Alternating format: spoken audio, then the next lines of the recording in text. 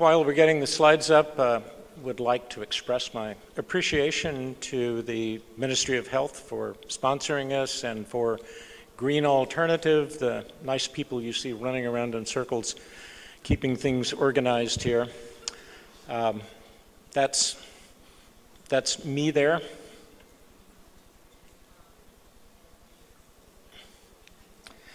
And this is what I do.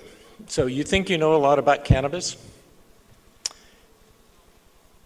So far this year,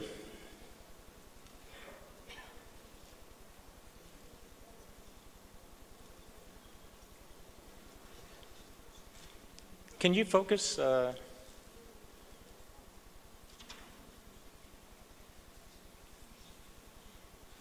did I do that? I'm sorry if I did.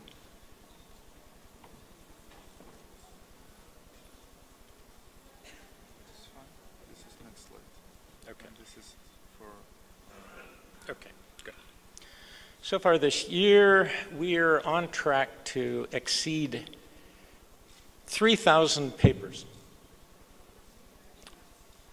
Now, that comes out to about 10 papers a day. The doubling time is about seven years. So every seven years, the papers that come out doubles. That will mean that by the end of this year, there will be more than 40,000 papers if you go into PubMed and you put cannabis or cannabinoid or marijuana. And by the way, try to avoid the use of the word marijuana. It's a pejorative term invented by prohibitionists in the United States. Um, it was supposed to be uh, insulting because it was Mexican stuff. And you know, you wouldn't want to be smoking that Mexican stuff, so it's called marijuana. So you'll see that all of the really knowledgeable speakers like um, Dr. Russo always carefully refers to cannabis rather than marijuana. And this is what it looks like for cancer. If you put in cannabinoid and cancer, it's a lot more manageable uh, it really amounts to only about uh, a couple papers a week, and you can manage that. Now, the um, the National Cancer Institute says that there are more than 100 cancers. So What's with that? I mean, we're talking about the National Cancer Institute in Washington, D.C., and they don't know how many cancers there are. So I thought I would find an answer for us today. And I know somebody who knows everything. So I'm going to call and we'll find out how many cancers there are.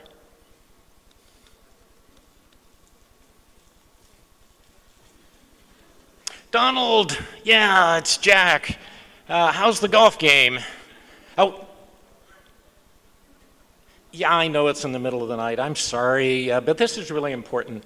I'm here in uh, Macedonia. Yeah, I know you don't know where it is. You know, for a long time, the Macedonians didn't know where it is either. Yeah, so don't worry about it. Anyway, this is really important. I need to know, we all need to know how many cancers there are. Is that right? Okay, well, good. Uh, so, good luck with your stupid campaign. It, bye, Donald. Okay, so there you have it.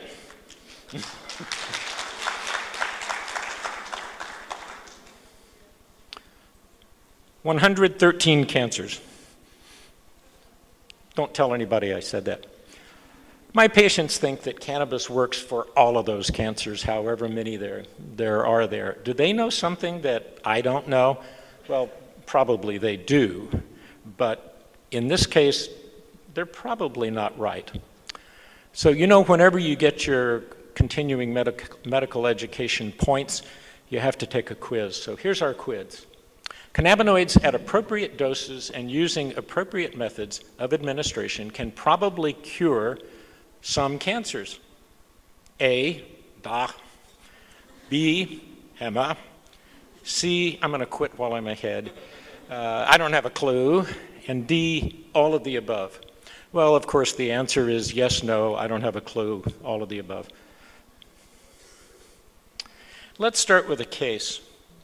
This is the only well described case in the medical literature of treatment of um, cancer with cannabis. This is a poor 14 year old girl in Canada who had a very nice kind of cancer, acute lymphocytic leukemia, if you're going to have one.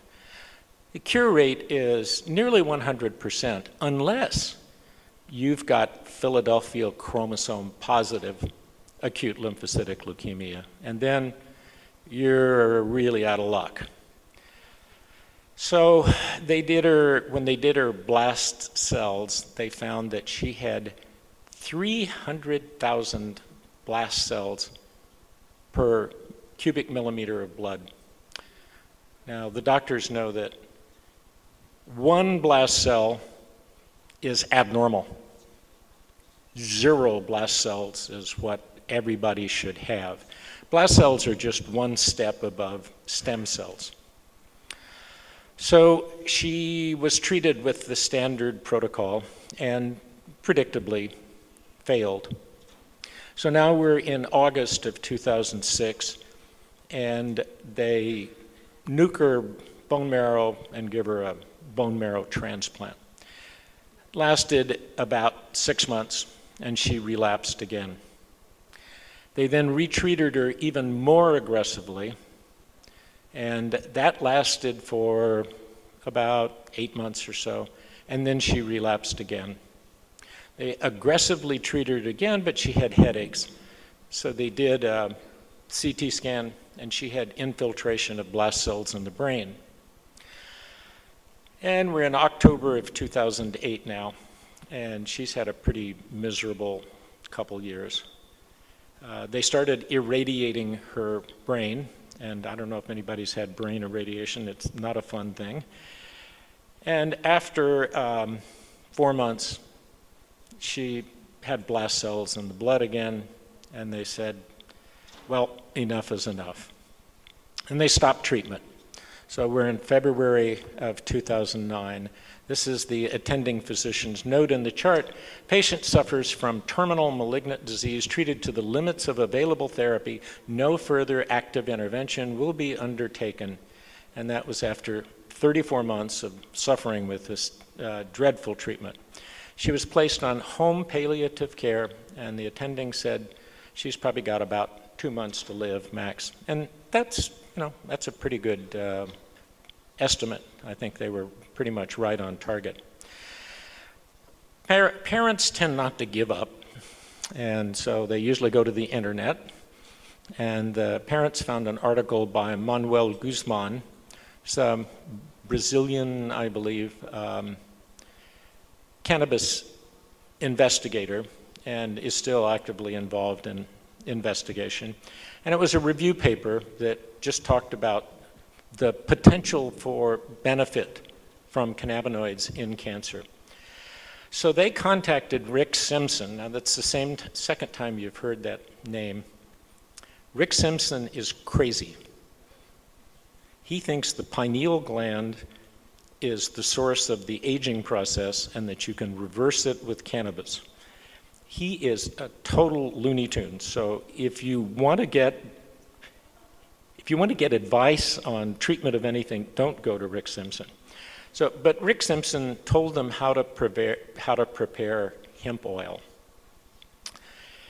The parents started working on that, and uh, two weeks have gone by. Her blast cell count has now risen to 194,000, heading back up to where she was in the first place.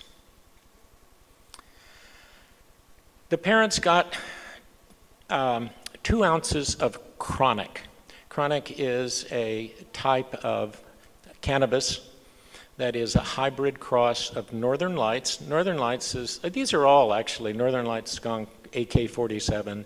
These are all kind of California strains. Northern Lights uh, is a nice strain, nice versatile strain. Skunk isn't as bad as it sounds. AK-47 isn't quite as bad as it sounds.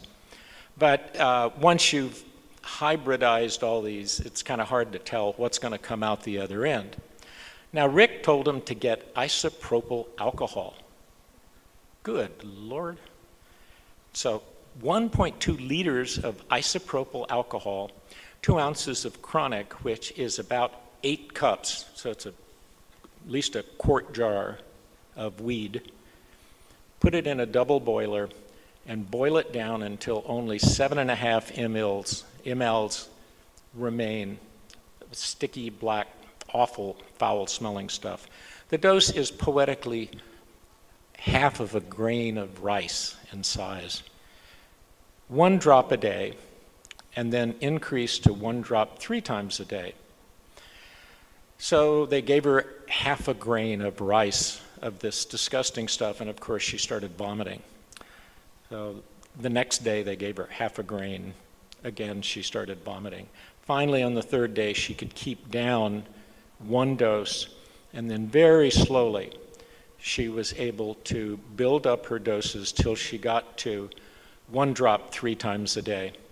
But she had terrible side effects nausea, panic, increased appetite, euphoria, uh, hyper alert, and but this is a common thread in cancer. She was able to reduce her morphine dosage. My patients all say the same thing. Many of them stop taking opiates. Most of them can cut their opiates in half and really happens just, you know, almost predictably. On day 15, the, patient, the parents ran out of chronic. So from somewhere, they got version number two of hemp oil. So let's try to figure out how much THC was in the chronic oil. And you can do, this is just basic math. Once you become familiar with cannabis, you can kind of do this math and figure out from the products just about how much THC is there. So if the THC, uh, if the cannabis, the chronic that they had came from the trimmings of the plant, because the growers cut off all the leaves to increase, make all the energy go into the bud and increase the size of the bud, which is where all of the cannabinoids are, then two ounces would be uh, about 57 grams. The trimmings are called shake, or about 10%, we're just making up 10%, but that's probably about right, about 570 milligrams of THC. Probably they had bud. Now the article, case report, the, you know, the doctors who wrote it didn't know anything about cannabis, so they didn't even say whether it was bud. Probably it was bud, which means that that oil had 5,700 milligrams of THC. Now, each, um, each uh, the 7.5 mLs has about 150 drops. Each ml has about 20 drops in it. So that means that each drop probably had about 30 to 35 milligrams of THC, and that's a lot. So after prolonged dosage uh, titration, she's aiming for one ml a day, which is the usual dose, or eight to nine drops three times a day. She's getting about 250 milligrams of THC three times a day. So, what happened? Nice thing about ALL is that you can you got something to follow. Most of the time, in, um, in you know in diseases, you don't have any precise indicator of just what's happening. Well, in this case, they, they could follow the blast cell count. And uh, she started out at around 228, rose while she was going through the titration. Now, at the bottom, you see day zero, day three, day five, day eight, day 11, and just above it, you see the dose. Now, they're aiming for 1 ml. On, uh, by day three, she's on 0.02, so she's insignificant amount and she just can't tolerate it. By day eight, she's gotten up a little bit. Day 11, she's up to a tenth of an ml. And by day 15, just a little bit more than a tenth of an ml. And they ran out of oil. So they got something else. Lord knows what's in it. No idea. Um, and you know, maybe it was good, maybe it wasn't. They slowly increased, and by day 29, by day 27, they were up to three quarters of an ml. And look what happened. She had tumor lysis syndrome, and I don't know if you remember from med school, tumor lysis syndrome is like total body gout. It happens when the tumor shrinks and disappears so quickly that you get overdosed with uric acid from all of the uh, DNA that's being torn apart in the dying cells. So this was real. Her blast cell count gradually over those couple weeks of whatever this was got down to 0.3. Now, you know, you want it to be zero, but 0.3, hmm, I'll take 0.3. Then they run out again. So they got Afghan Thai strain and they prepared their own again. And um, when they started giving it to her, it turned out to be much stronger than hemp oil 2. So the blast cell count stayed about 0.5, but they had to cut back on the dose. As you can see, she's at 0.5 ml. So the doctor said, oh, let's leave that alone. She's doing pretty well there. We'll take 0.5. And then they ran out of hemp oil 3. So they got hemp oil 4. This is another outside source, no idea what was in it. The dosing at first, uh, they had to do intermittently because she got sick with it again because, you know, Lord knows, as I said, what was in it. And then as they dosed her at 0.5, her, her count st started to very slowly rise, and then at around day 60, took off. So at the end of this um, four different hemp oils, she's back up to about 79 blast cells per thousand cells. So they got hemp oil number five. Don't know what it is.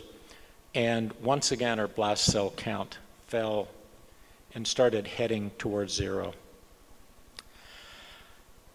Then things really go south. The blast cell count finally did get down to zero, but probably what happened is her bone marrow died. It couldn't make normal cells, it couldn't even make blast cells.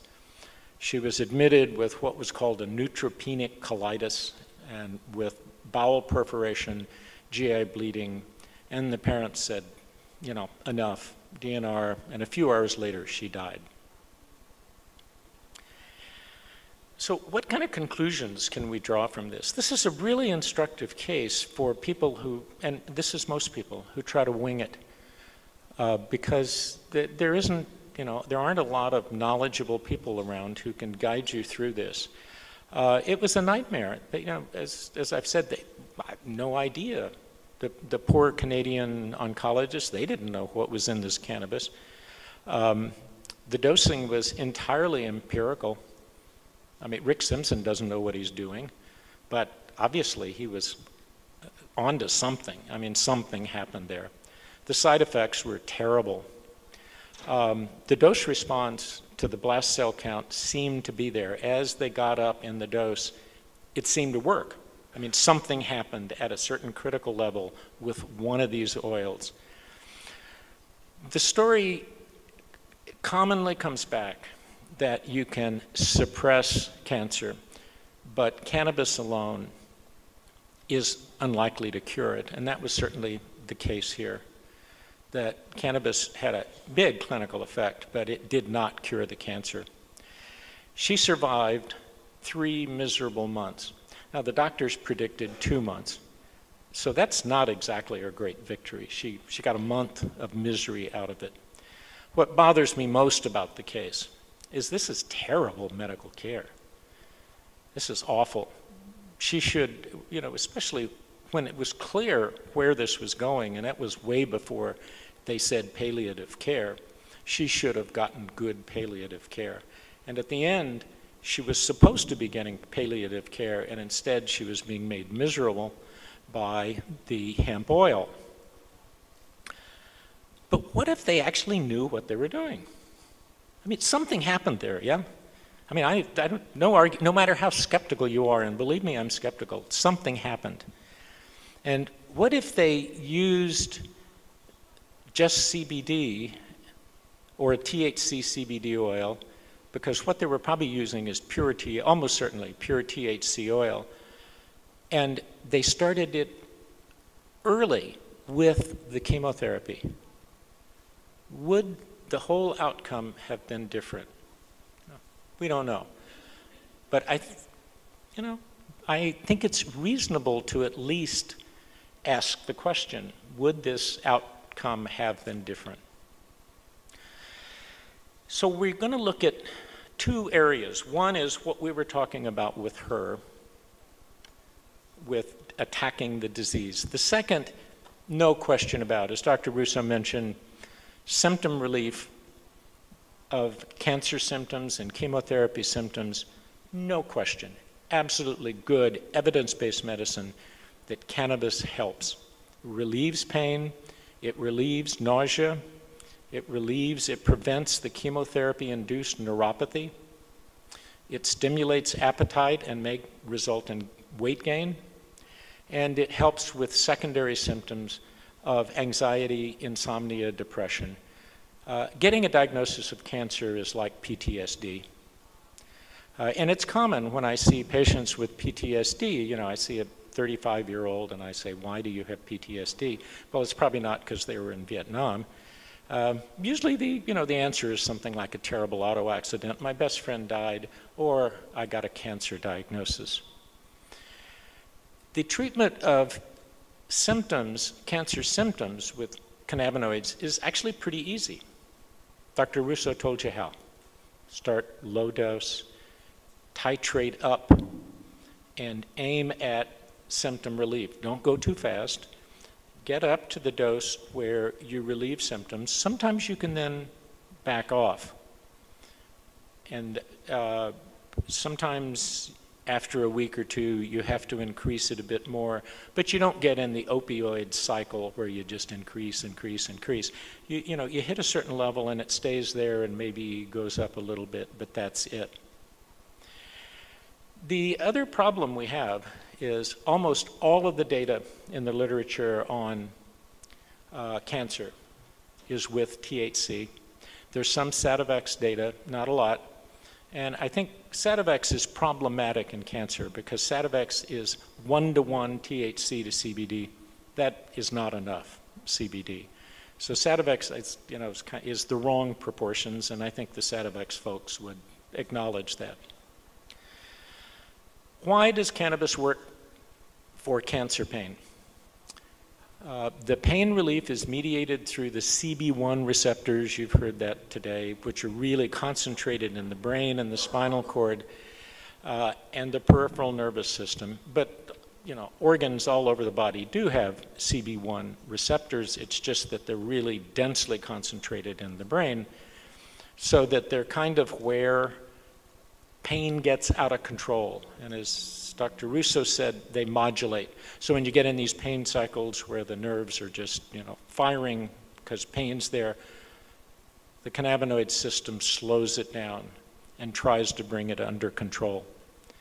Animal models of tumor pain show that THC has efficacy that's similar to the opiates and that cannabinoids will prevent chemotherapy neuropathy from occurring in animal models.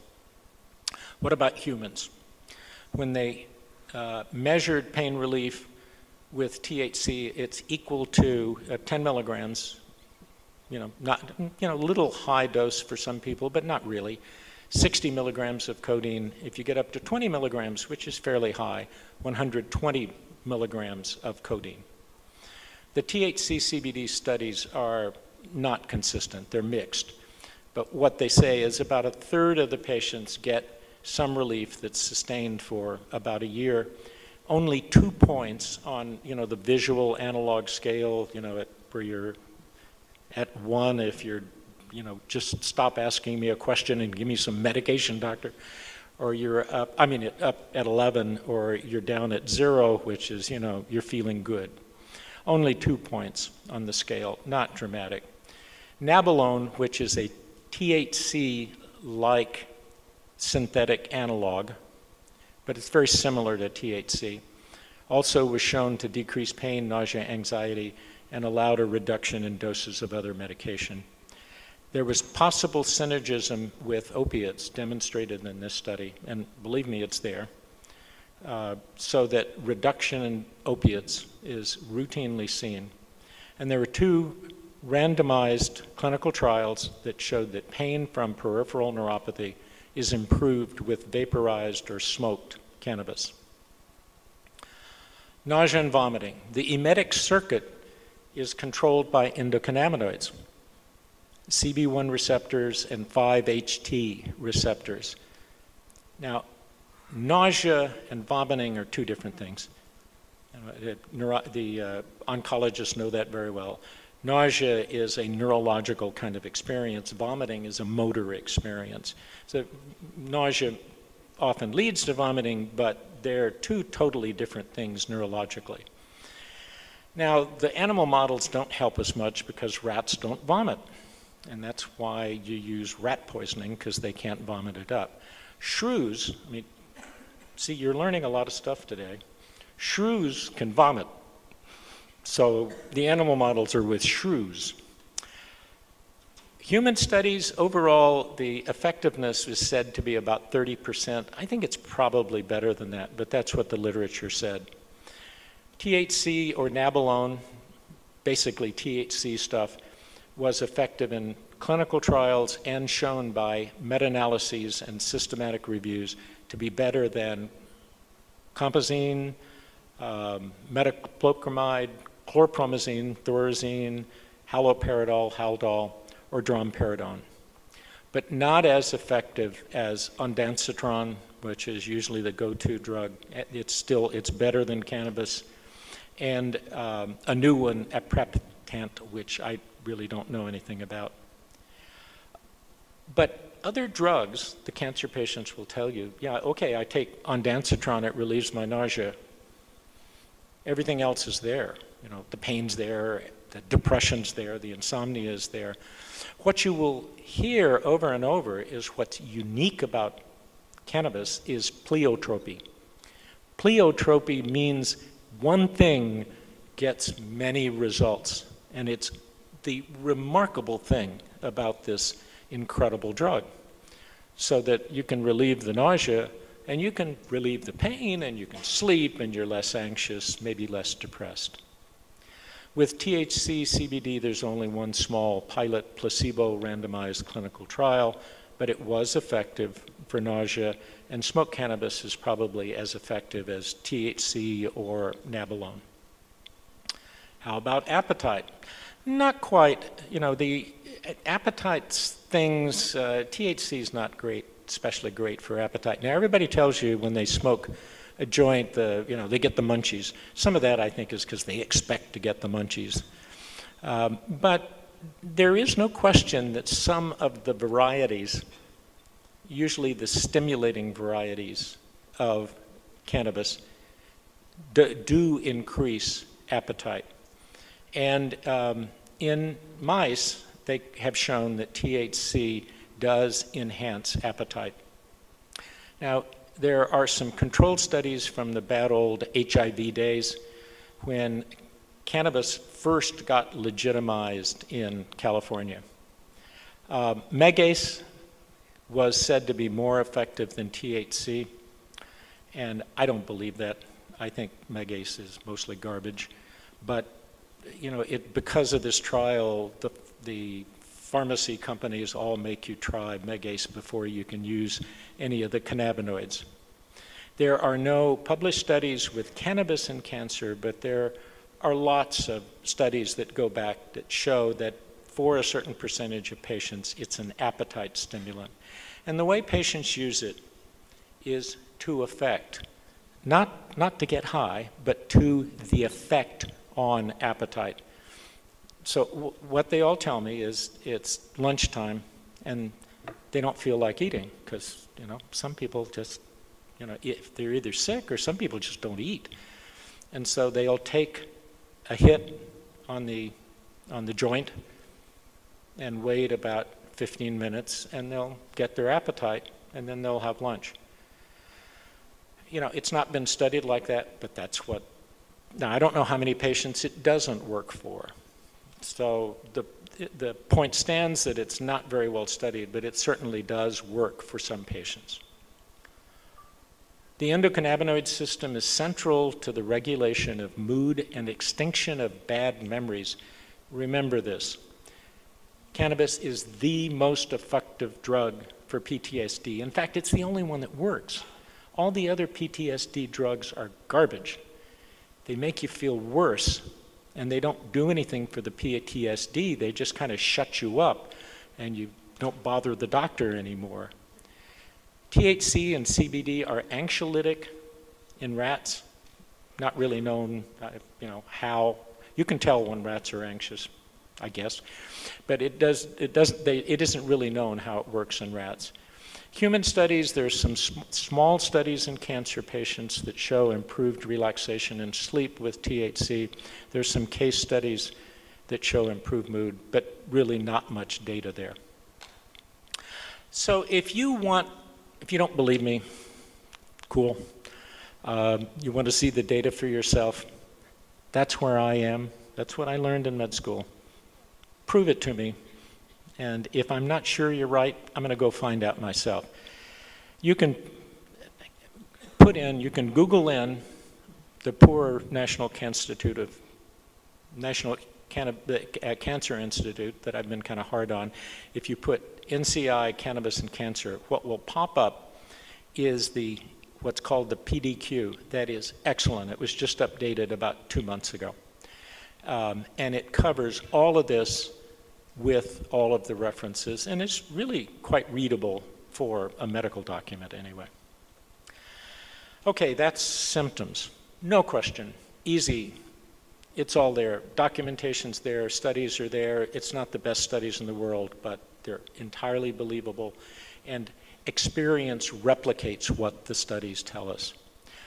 What does it do to cancers? Now, we had an example there of something that just shocked me when I read it. And obviously, the, the oncologists taking care of the girl were shocked as well. There is a huge amount of data. I don't recommend going to it. It'll, I mean, it's good for sleep. Uh, it's, but it's a huge, that's a joke. It's a huge amount of data on cell line studies that show that cannabinoids promote tumor cell death, apoptosis. They inhibit proliferation. They inhibit invasion. They reduce metastasis. They inhibit growth of blood vessels to the tumors. Now, this is like the definition of cancer. It is pleiotropy writ big, it does all of these, all of these different things that should, in the long run, control cancer. The problem is it's cell line research and it's not trustworthy. Uh, cell line research is a single cancer cell that's stimulated to grow into a cell line and then you try out different drugs with it. Now, that's useful in looking at whether you've got drugs that you ought to study now in animals, but it's not very useful in predicting clinical response. What the cell line research shows that stops everybody in their tracks is that THC can make cancer cells, cells, cell line, can make cancer cells grow faster. And it's a dose response, except it's a dose response in both directions. Some cancer cells, lower doses cause growth and higher doses kills the tumor cells. Other cancers, it's the other way around, which scares you. You don't know what dose to use if this is accurate. And there are some animal studies that, I'll, that I'll come to that kind of support that. Now, this is my favorite kind of, isn't that pretty? my favorite kind of uh, thing to encounter in a journal article because it saves a lot of time. You know, you're reading through your journal and you see this and you go, wow, flip, turn the page. Nobody looks at these, actually pays any attention to these things. But you can see the, the receptors up there. There's CB1, CB2, TRPV1, you haven't heard much about that, GPR55, and there are other receptors. And they do all kinds of stuff in between there. But what's cool is down here, pow, pow, pow, pow, pow, dead cells. Love it, apoptosis. Now, in the animal models, there's some support for efficacy of THC, CBD, delta 8 that started with a study 40 years ago of implanting lung cancers in rats, in mice, I'm sorry, mice. And they reduced tumor size. CBD didn't do anything. Now, that was a long time ago you know, may not be as reliable as the cannabinoids that we have now. The strongest evidence of, this, of uh, benefit is seen in a fairly reliable animal model, which always kind of bothers me because it just seem weird, seems weird. They take a breast cancer cell line and inject it in a mouse foot pad, and it grows breast cancer in the mouse foot pad. Now, I mean, that doesn't sound like a good animal model to me, but you know, it is, it is fairly reliable. And it shows that THC, CBD doesn't, is indeed tumoricidal. It does shrink tumors, but you see resistance emerge afterwards. You also see evidence of synergy among the cannabinoids as, and the terpenoids, as Dr. Uh, Russo was talking about. There is also good evidence of synergy of cannabinoids in malignant in gliomas, glioblastomas in mouse models. The colon cancer studies are the ones that, that give you heartburn because the studies show that cannabinoids can increase growth of cancer, colon cancer in mouse studies, or it can decrease. It also shows the entourage effect that that has been mentioned a few times. And there's some limited support in animal models for hepatic, bone, skin, lymphoma, leukemia, pancreatic, gastric, thyroid, uterine, cervical, neuroblastoma, oral, head and neck cancers. Now, it's, it, you know, I went through that fairly quickly because there's not a lot of data there. Uh, a lot of people with those cancers cite, you know, like especially prostate, you see lots of stuff how it's effective for prostate, but the data is not very good. It's just not there. And something happens on the internet. I don't, I don't know if anybody here is a fan of Gary Larson. Um, this is one of Gary Larson's best cartoons ever. This is the Ginger cartoon. This is what we say to dogs. Okay, Ginger, I've had it. You stay out of the garbage. You understand, Ginger? Stay out of the garbage or else. Now, here's what Ginger hears blah, blah, Ginger, blah, blah, blah, blah, blah, blah, blah, blah, blah, blah, Ginger, blah, blah, blah, blah, blah, blah. So this is kind of like the internet. Press release, a study of papillary breast cancer in mouse footpads show that after one week of treatment with cannabis, some mice experienced a 10% tumor shrinkage. So the bloggers pick it up. What the bloggers said was a study of blah, breast cancer, blah, blah, showed that blah, blah, blah, blah, treatment with cannabis, blah, blah, experienced tumor shrinkage. So, and then the patients go see their doctor, and the doctor goes, oh my God, not again.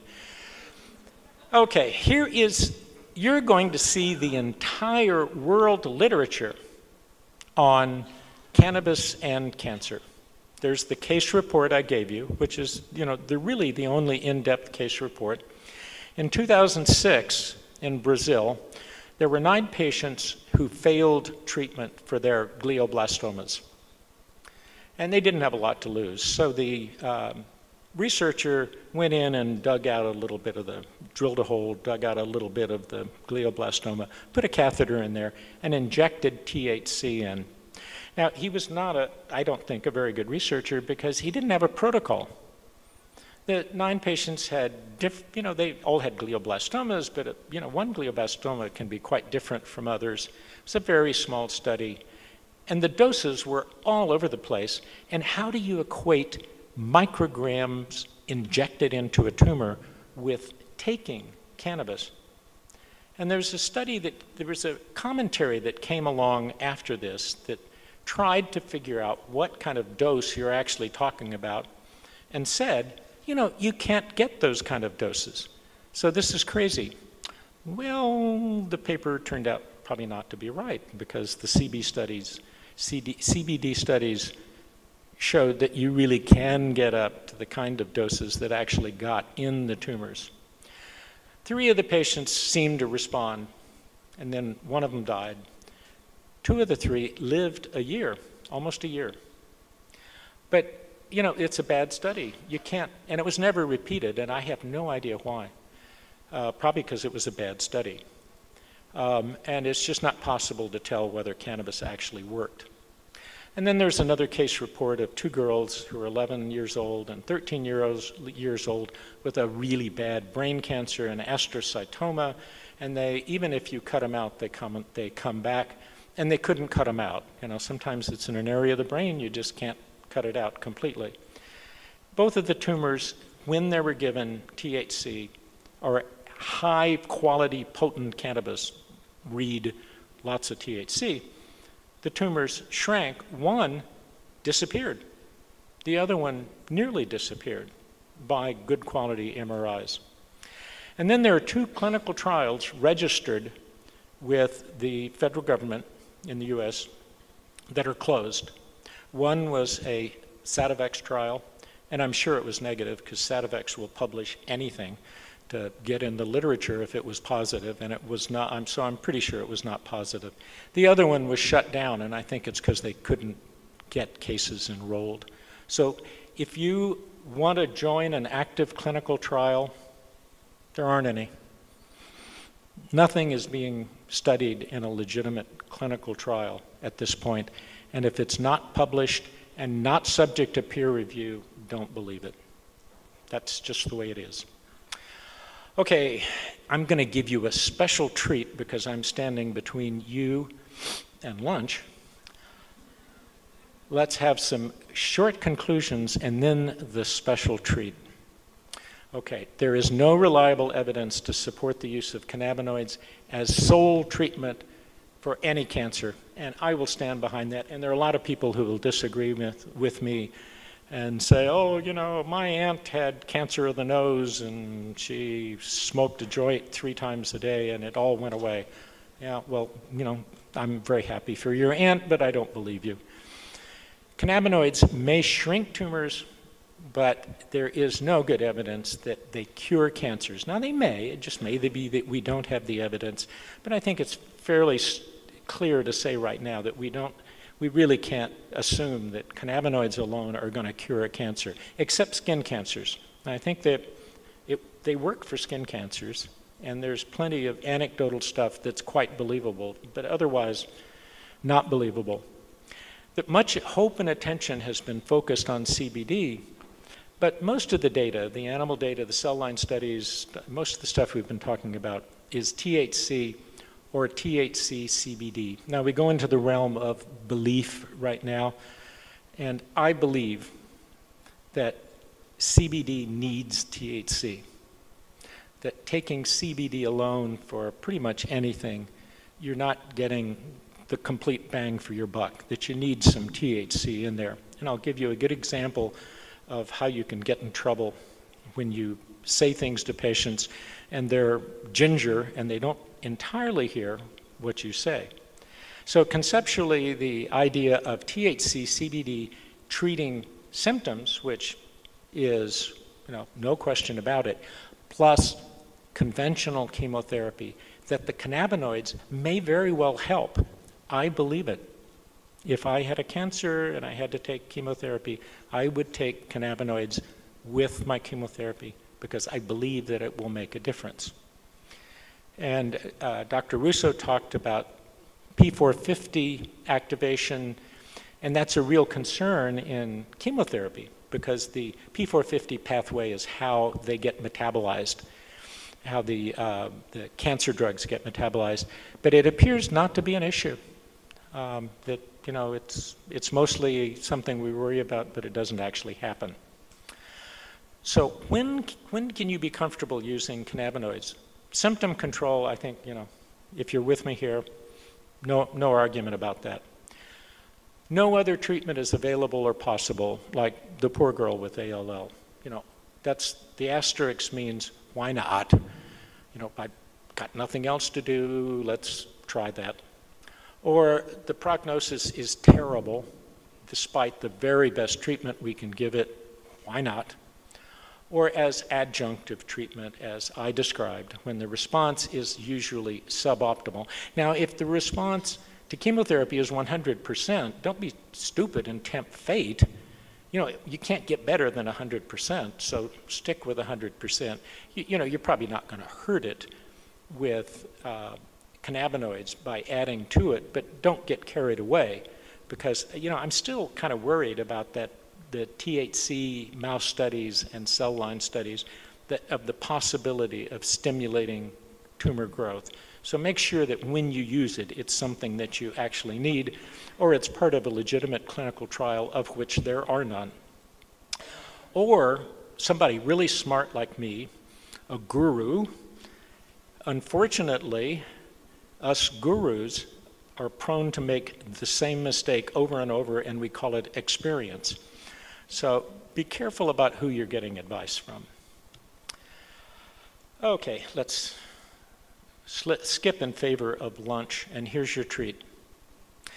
This is one week old. I spoke with the mother one week ago. So her son, who unfortunately lives in Texas, I'll leave it at that. There is, Oklahoma's worse. I, am from Oklahoma.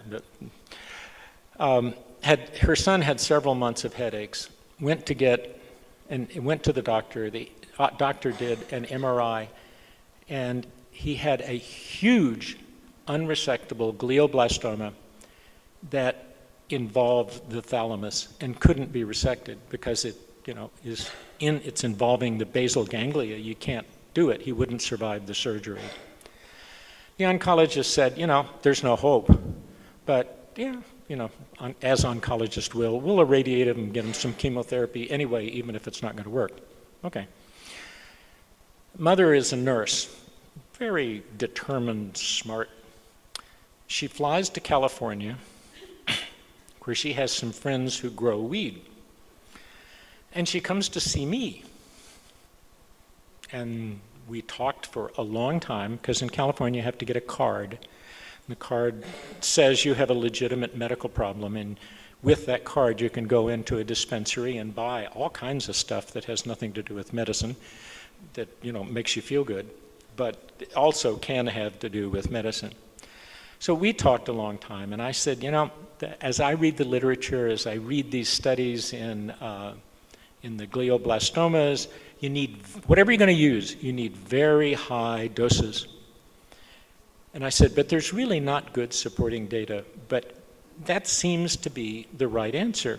And she said, what's the high dose? And never believing she'd actually do what I said, I said, yeah, gram a day, CBD. That's a lot of CBD. It's a huge 1,000 milligrams a day of CBD. Now, you can't, probably can't afford that, but her friends grew. I also told her, as I told you, THC is essential. Now, what she took away from that, blah blah ginger, is equal amounts of THC and CBD. So a thousand milligrams of THC a day, a day and a thousand milligrams of CBD a day. Now, that must have been hard to take, but this woman was tough, and I don't think she uh, let her son say no. I don't think she even asked him. So her friends prepared a one to one oil and gave her a free supply, usually minimum, it's a 500 to $1,000 a month. They went, and I said, You have to go to your oncologist.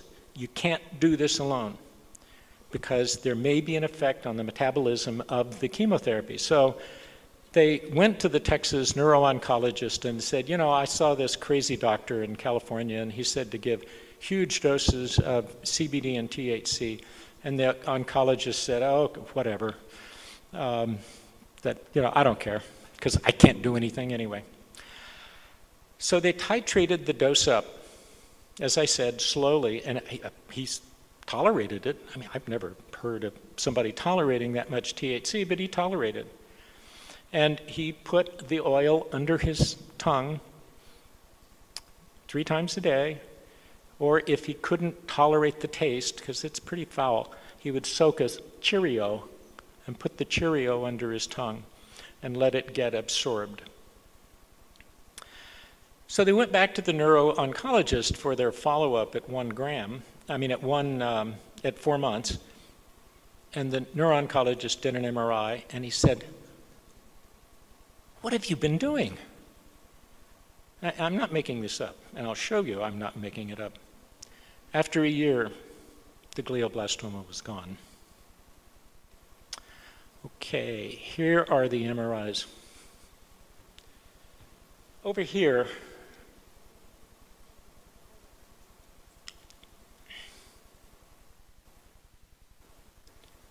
that's, that's the cancer.